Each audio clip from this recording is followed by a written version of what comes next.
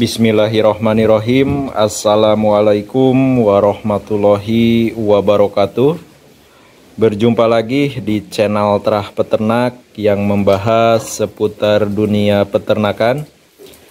Nah di kesempatan siang kali ini Saya berada di kandang sapi pejantan FH ya Yang sedang diproses pembesaran Nah ini anakan-anakan dari sapi FH atau sapi perah ya. Ini anakannya yang jantan. Nah ini sudah disilangkan dengan sapi simental ya. Namun indukannya sapi perah sapi FH nah jadinya seperti ini ya sahabat ternak tuh. Ganteng. Nah kalau yang ini masih murni FH ya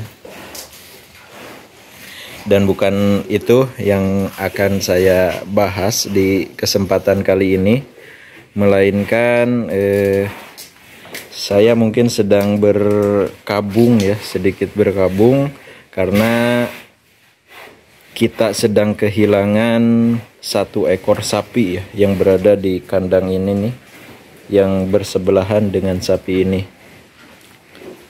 Nah masih peranakan dari sapi FH juga yang sudah kita silangkan dengan sapi pejantan simental ya yang hasilnya menjadi simental moncong. Nah seperti ini. Yang mungkin di beberapa video yang sudah saya buatkan ya ada beberapa yaitu eh, tutorial cara mengkeluh hidung sapi ya Terus yang kedua ada mengenai genetik ya, genetik si mental moncong dan juga yang ketiga yaitu perbandingan ya sahabat ternak. Perbandingan perkembangan bobot sapi si mental moncong dan sapi FH murni ya. Nah, itu sahabat ternak yang sapinya yang hilang ya yang di sini. Jadi dalam artian hilang itu bukan hilang dicuri ataupun hilang begitu saja ya sahabat ternak, melainkan sapinya mati ya. Mati dengan sia-sia Dan sebelumnya ada sebelumnya eh, si sapinya mati, sapinya juga sudah terdampak penyakit ya sahabat ternak. Sudah terdampak penyakit kita juga sudah tanya-tanya ke dokter ke dokter hewan dan juga mantri ya mengenai penyakit seperti itu. Dan ternyata eh, kata mantri juga kata dokter juga sapinya terkena eh, radang paru-paru ya yang sudah parah lah.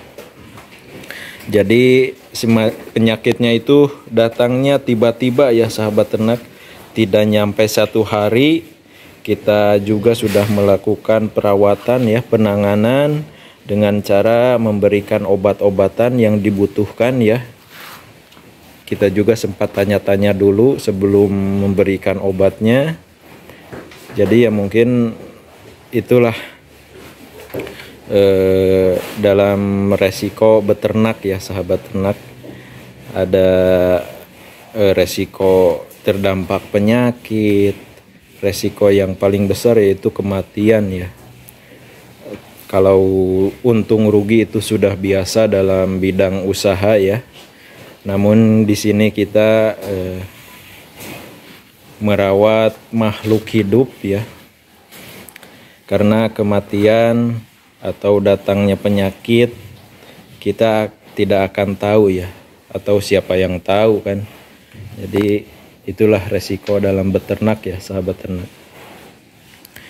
Nah sapi yang mati itu kita jagokan ya sahabat ternak. Kita rawat tuh dari kecil dari mulai dia brojol sampai kita besarkan ya. Mungkin ada kemarin itu eh, timbangannya hidup 400 kg up ya sahabat ternak.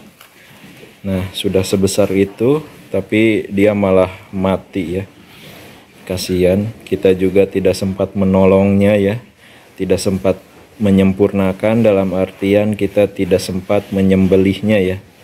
Nah, jadi itu yang kami tidak suka ya kalau ada sapi atau hewan ternak kita yang sakit eh, tidak bisa kami tolong, tidak kami sempurnakan ya.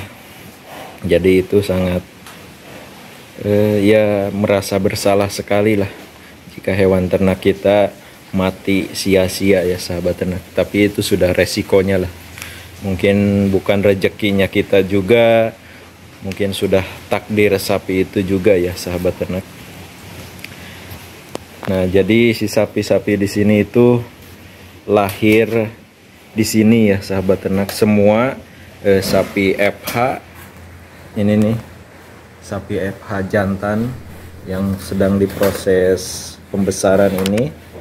Lahir di sini ya dari indukan sapi FH ini.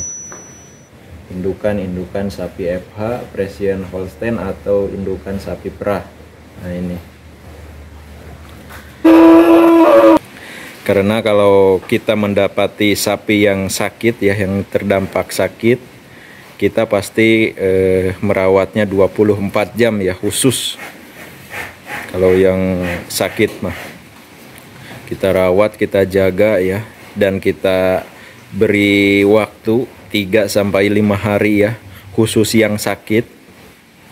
Kalau dirasa kita sudah memberikan obat-obatan yang dibutuhkan sapi yang sakit dan kita lihat perkembangannya apakah dia membaik ya. Kita lanjutkan dengan perawatan yang intensif dan jikalau sapinya sudah dirawat, sudah diobati dengan segala macam, tapi malah sapinya malah kesehatannya menurun ya atau memburuk, kita akan menolongnya dengan jalan yang terakhir ya sahabat ternak, yaitu kita sempurnakan, kita sembelih ya. Nah, seperti itu ya sahabat ternak. Namun yang kemarin tidak sempat kita tolong ya. Mungkin ya kelalaian kita juga kelemahan kita juga kekurangan kita juga karena kita juga makhluk hidup ya sahabat ternak nah mungkin itu saja ya sahabat ternak eh, untuk video kali ini mungkin eh, bisa bermanfaat ya khususnya bagi diri saya pribadi ya ucapan-ucapan saya bisa menjadi pengingat bagi saya diri pribadi ya untuk lebih baik lagi. Dan semoga eh, ada manfaatnya juga untuk sahabat ternak di mana pun sahabat ternak berada ya. Salam-salam juga untuk sahabat ternak di mana pun sahabat ternak berada. Eh, semoga yang disemogakan sahabat ternak semua tetap selalu dalam lindungan Allah subhanahu wa ta'ala digampangkan segala urusannya, dilancarkan rezekinya, serta disehatkan selalu. Amin ya Allah ya Robbal Alamin. Sampai jumpa di video-video selanjutnya ya. Salam satu hobi, salam beternak. Wabil topik wal hidayah. Wassalamualaikum warahmatullahi wabarakatuh.